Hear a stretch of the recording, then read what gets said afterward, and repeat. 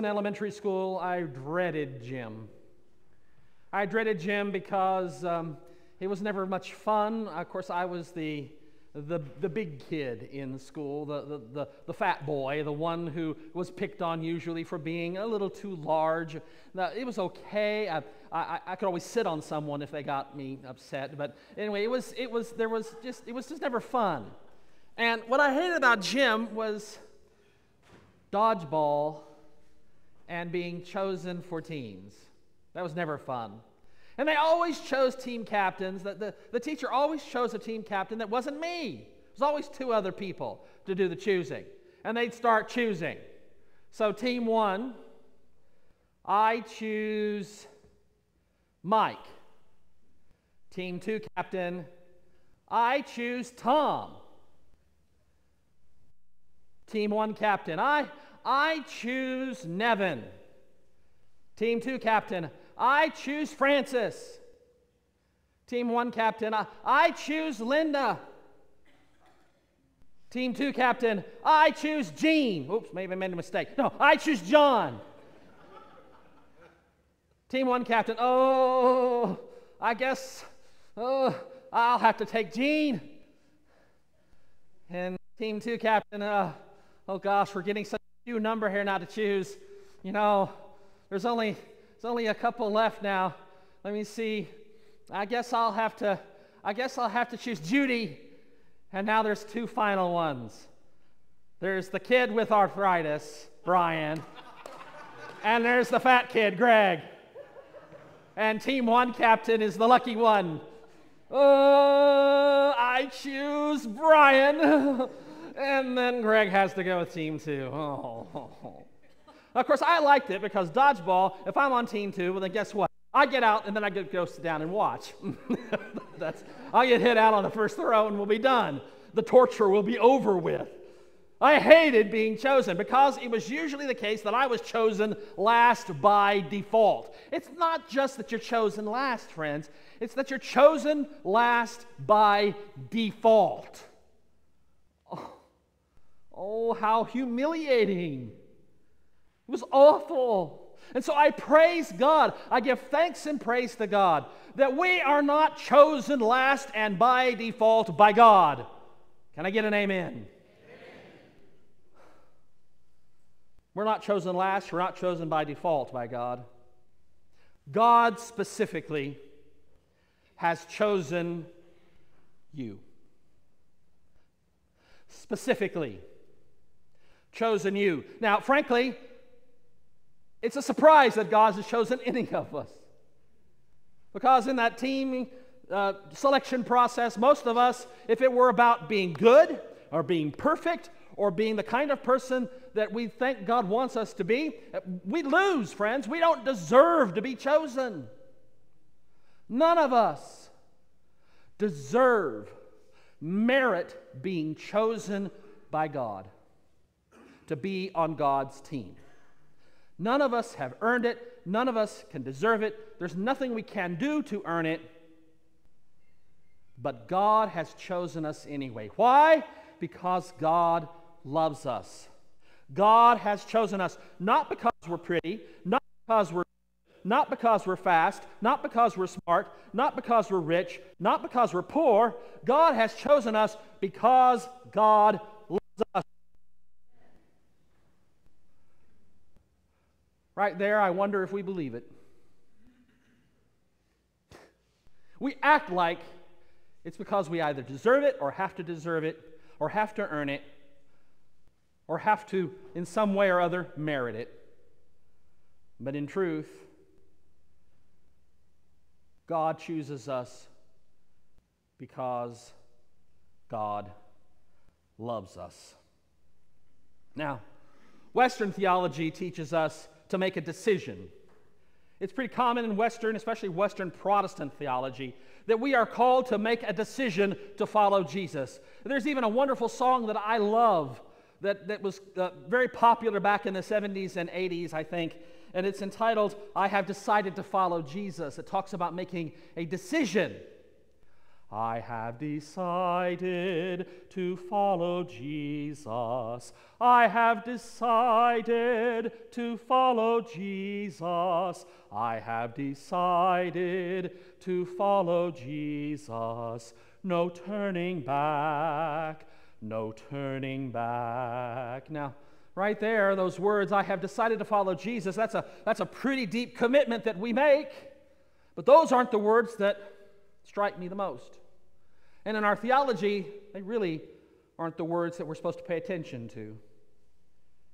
It's that last phrase no turning back. No turning back. It's easy to decide to follow Jesus. It's easy to answer Jesus' call, Jesus' choice to follow Jesus. It's a challenge to not turn back. It's a challenge to keep going, to keep following Jesus.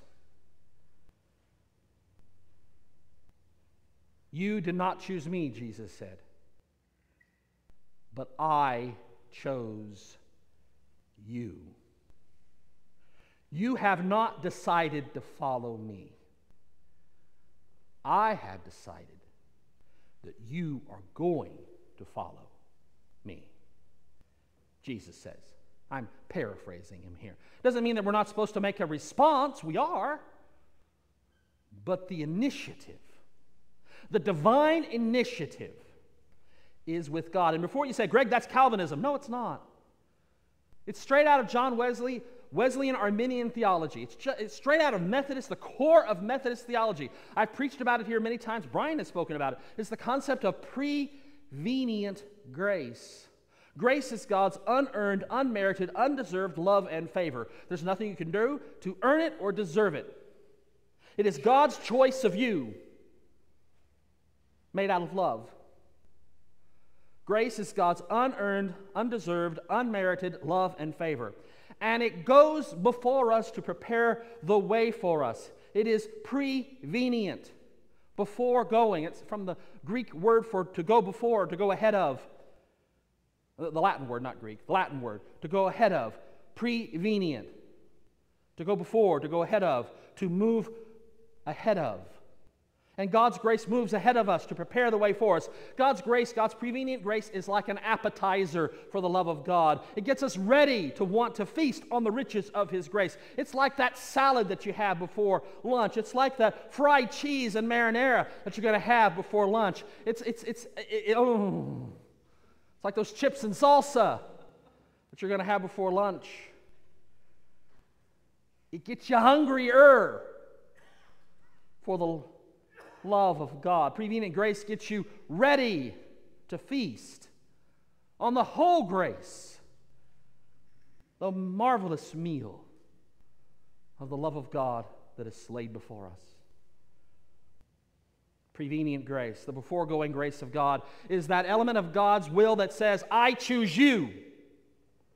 You haven't done anything to deserve it or earn it. I choose you. You did not choose me, but I chose you.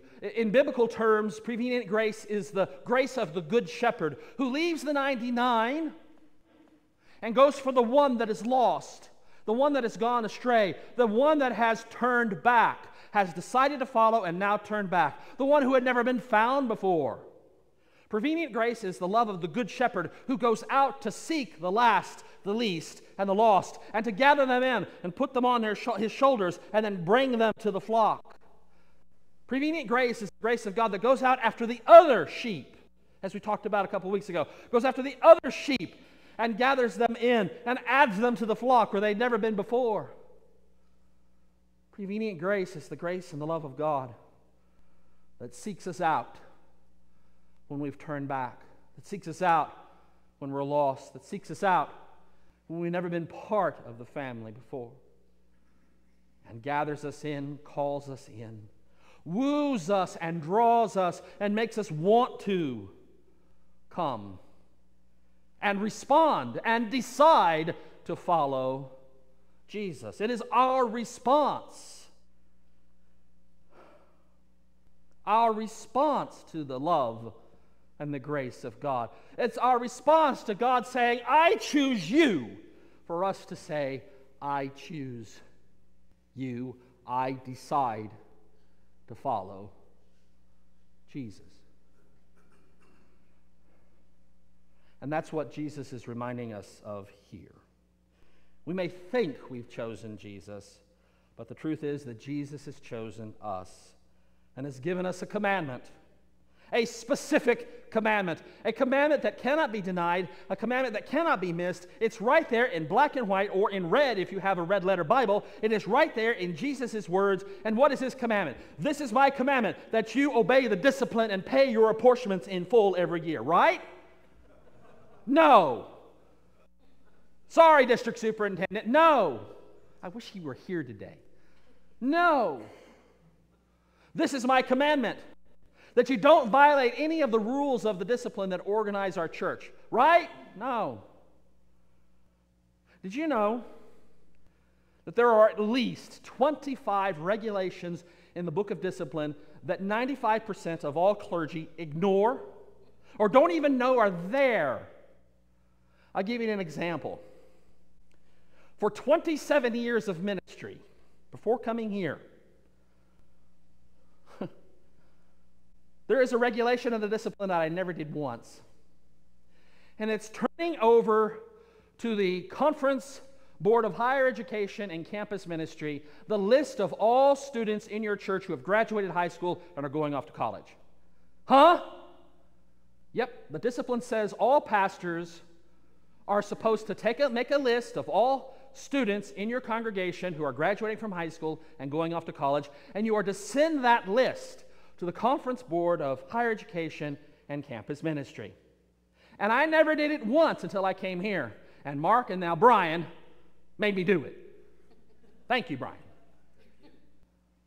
You can't charge me for that one now. There's another one that's almost never done. When somebody moves, when some member of the congregation moves to someplace else in the world, we're supposed to make every effort possible. We're supposed to contact the pastor of the churches in the area where that person moves to. We're supposed to contact the district superintendent of the district into which that person is moving to and let them know that this person, this Christian, this member of the family of God is moving to that area and they need ministry.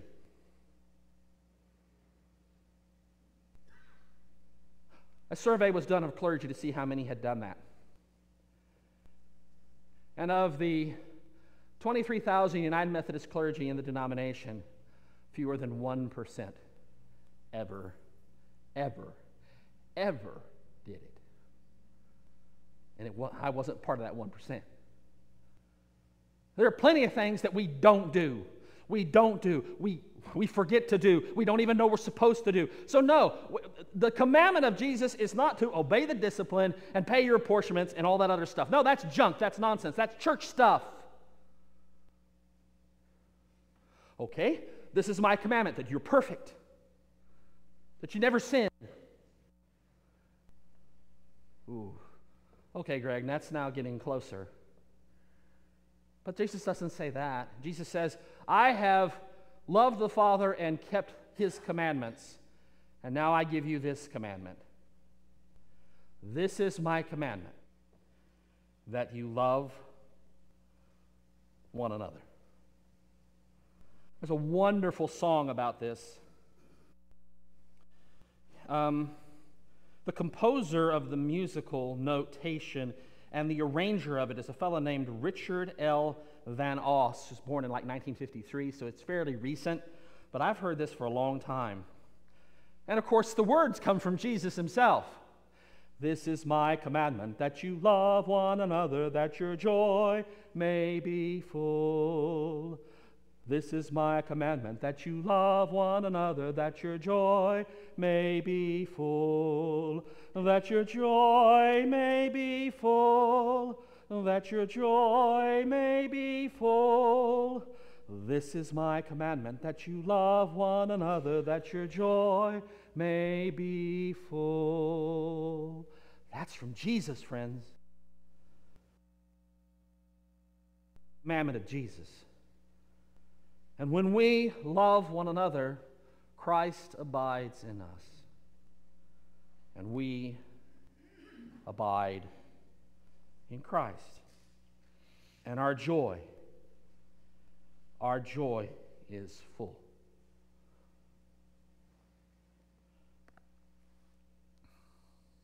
Jesus tells us that we're called to love one another. He says that I don't call you servants, I call you my friends. And you have a great duty, a great responsibility, a great calling. I appointed you to go and bear fruit, fruit that will last. We're called to be fruit bearers and lovers of one another, caring for one another, praying for one another, serving one another. We're called to love one another. And Jesus says, As I have loved you, He gave Himself for us. We're called to love one another. My prayer for you, my friends, is that we love one another as a family of God. If we love one another, if we serve with one another, if we contend with one another, if we pray with one another, if we speak with one another with joy and peace, and if we pray for one another in love, then our joy will be full. And Christ's joy in us will be full. My prayer for you in these coming weeks and months and years is that you will love one another, serve together, pray with and for each other, partake of the means of grace together, and be an expression of God's love for those outside these walls. This is my commandment that you love one another. You haven't chosen me, Jesus says. I have chosen you. And He's chosen us to love one another. In the name of the Father, and of the Son, and of the Holy Spirit.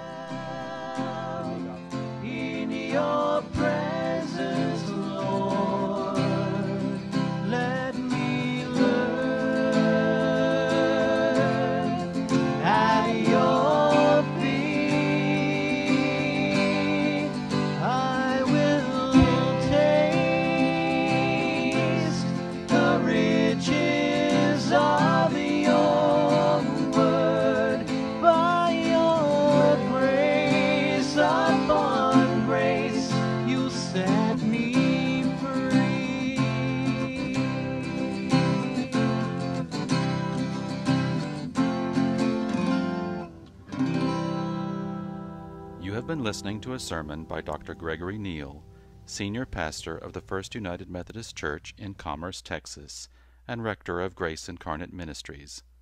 Copyright 2018 by Dr. Gregory S. Neal, all rights reserved. For more information and for other sermons by Dr. Neal, visit us on the web at www.revneal.org.